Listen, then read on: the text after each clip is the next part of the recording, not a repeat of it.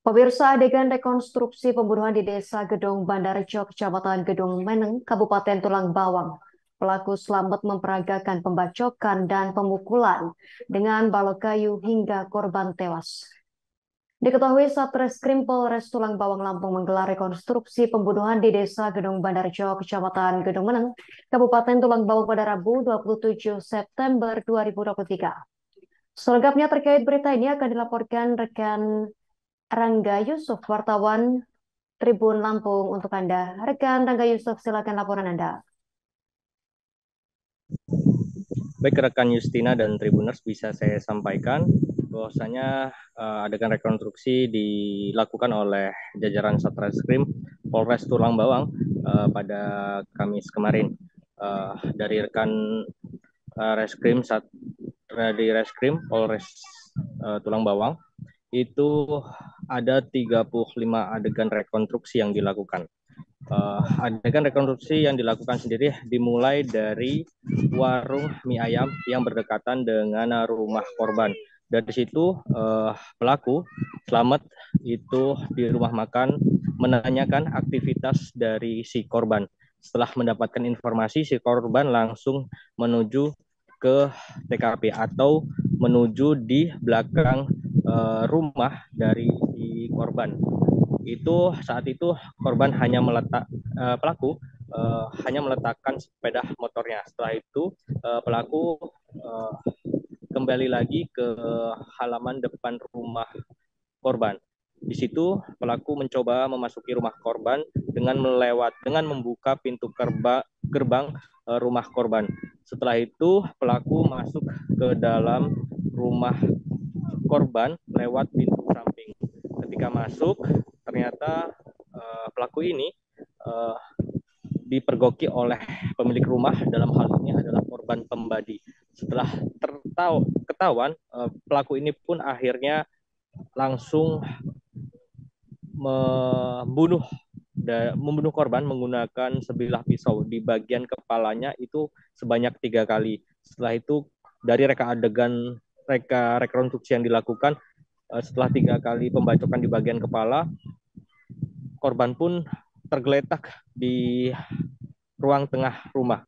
Di situ uh, mengetahui korban masih belum meninggal dunia, pelaku pun kembali lagi ke ruang dapur dan mendapatkan kayu balok. Setelah mendapatkan kayu balok, kembali lagi dan memukul di bagian kanan uh, dada korban hingga korban meninggal dunia di tempat. Setelah meninggal dunia di tempat, uh, rekan Justina dan Tribuners, pelaku ini menyeret tubuh korban ke bagian belakang rumah dan dimasukkan ke dalam sumur. Setelah dimasukkan, uh, pelaku ini pun menutup menutup uh, sumur itu menggunakan papan. Setelah menutupnya, uh, pelaku ini pun berusaha untuk menghilangkan jejak karena bercak darah uh, cukup banyak di, di rumah korban begitu. Nah, setelah itu pelaku pun meng, menghapusnya dengan mengepel. Setelah itu uh, kembali lagi setelah itu uh, pelaku pun mengambil barang curian dari pemilik rumah. Setelah itu pelaku pun kembali lagi di sumur untuk menutupnya dengan seng. Dan setelah itu rekan Justina uh, pelaku pun kabur dengan memanjat pagar rumah korban. Begitu rekan Justina uh, bisa saya sampaikan. Baik, rekan M. Rangga Yusuf, wartawan Tribun Lampung, terima kasih atas laporan Anda. Selamat bertugas kembali. Pemirsa kami tampilkan wawancara wartawan lapangan kami bersama KBO Satreskrim Polres Tulang Bawang Ibtu Abdullah dan pengacara korban Indra Gandhi. Uh, kami menduga apa yang disampaikan oleh pelaku itu banyak kejanggalan.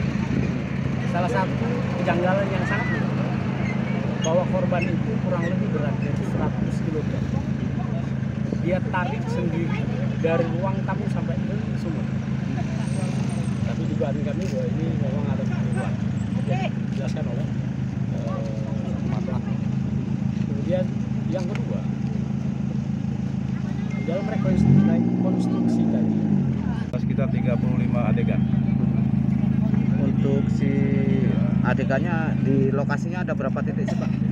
di lokasi eh, di tiga lokasi di empat lokasi Di empat lokasi. empat lokasi kemudian tujuan dilaksanakannya rekonstruksi ini untuk eh, menyesuaikan apa yang sudah disampaikan oleh tersangka di BAP sehingga kita perlu langsung turun ke lapangan apakah keterangan itu sesuai dengan yang diterangkan atau tidak Berapa personil yang dilibatkan Pak dalam proses ini? personil yang dilibatkan sekitar 10 orang tergabung dari Terima kasih sudah nonton.